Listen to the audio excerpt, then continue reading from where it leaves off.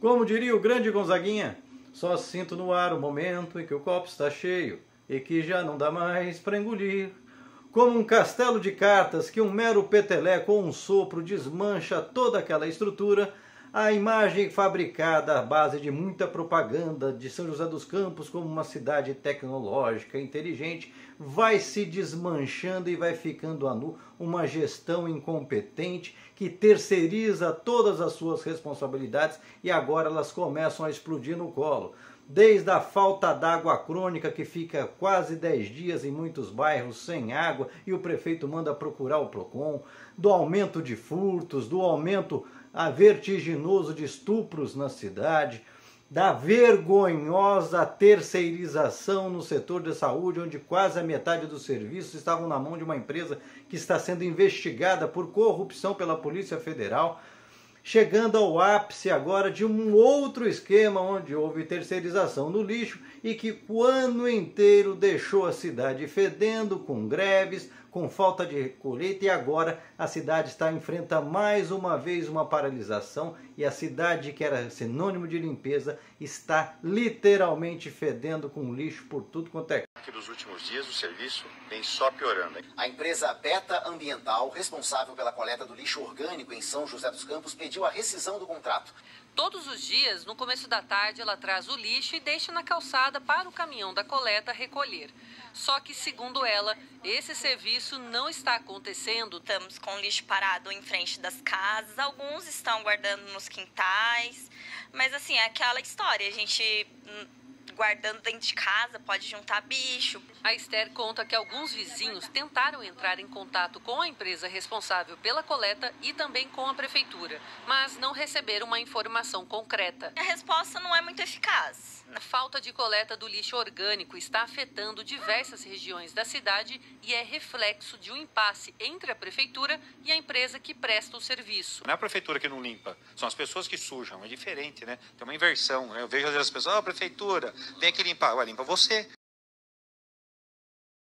Pois é, limpa você. Afinal, você já pagou impostos para fazer isso e em vez dele Pois é, limpa você que pagou os impostos para que o serviço fosse feito a contento e eles não está acontecendo porque a prefeitura, em vez de ela própria assumir a coleta, ela sempre terceiriza suas obrigações, sempre pega o nosso dinheiro e entrega nas mãos de uma empresa privada, falando que as empresas privadas são muito melhores, muito mais eficientes, sem sequer avaliar, como foi o caso dessa empresa da coleta, que está aí ligada, como vocês podem ver, na máfia do lixo de Ribeirão Preto, mas isso não foi empecilho para o governo de São José dos Campos ir lá e firmar contratos milionários com ela. Pois é, a mesma beta que vocês viram no início da reportagem aqui de São José que já estava dando problema em Porto Alegre desde o ano passado. Mas isso não foi um empecilho para a prefeitura ir lá e dar um voto de confiança para essa empresa. Afinal, até na empresa que está sendo investigada em São José dos Campos e que supostamente já teve até diretores presos, é preciso dar uma segunda chance. Não pode se prejugar, não é mesmo, prefeito? Preso, mandados de prisão,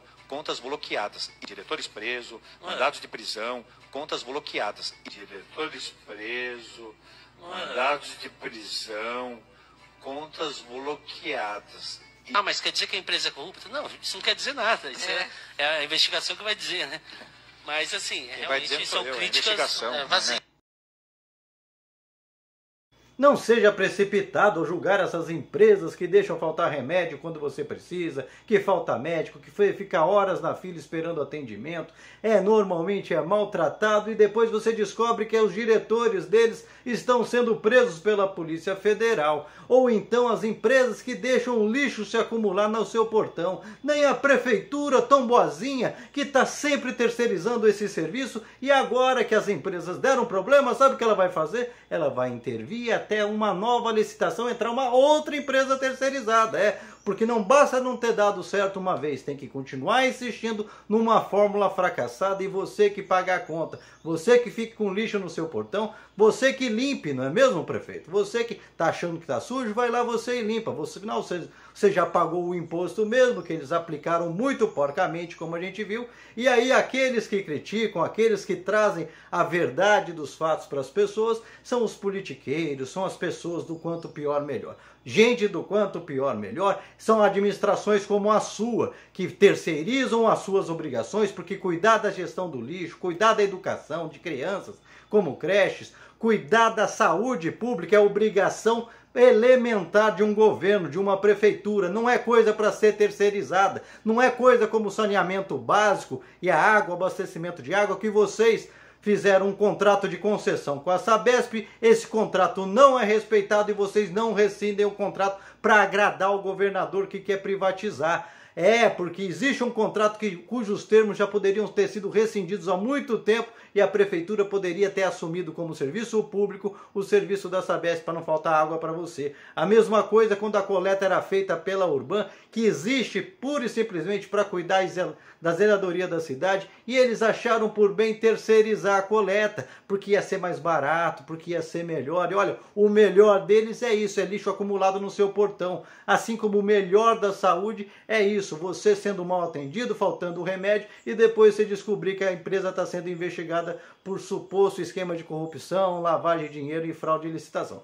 Portanto, gente, tem uma limpeza que a gente tem que fazer ano que vem, tirando essa gente, essa gente que fala uma coisa e faz outra, que chega no poder falando que são super gestores e a única coisa que faz é falar que o poder público, quando está na mão deles, não funciona e aí eles têm que entregar tudo que é nosso para a iniciativa privada para a gente ter pagar caro por mau serviço. E aí, o que, que vocês acharam de mais uma vez essa conversa fiada e mais uma empresa terceirizada pela atual prefeitura dando problema e eles insistindo em continuar terceirizando os serviços, mesmo sabendo que isso não funciona?